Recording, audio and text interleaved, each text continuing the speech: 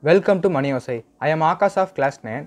I am going to speak on Aruna Asaf Ali, the unsung hero of the freedom movement.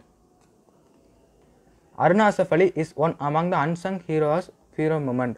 Aruna Asaf Ali is famous for hoisting the Congress flag at the Gowalia Tank Maidan in Bombay during the Quit India movement in 1942.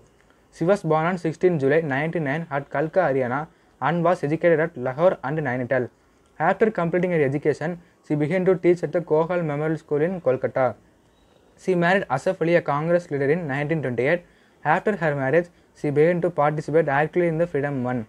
She participated in the Salt Satyagraha. She was held prisoner at the Tihar jail in 1932, where she protested the shabby treatment met out to prisoners by launching a hunger strike. Thereafter, she was moved to Ambala and put in a solitary confinement. She hoisted the Congress flag at the Gowalia Tank Maidan and earned the epithet heroine of the 1942 movement. The British government tried to arrest her, but she went underground in the meantime.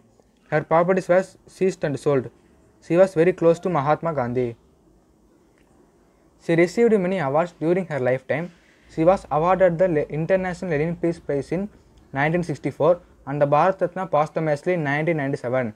This great freedom fighter passed away on 29 July 1996. Thank you.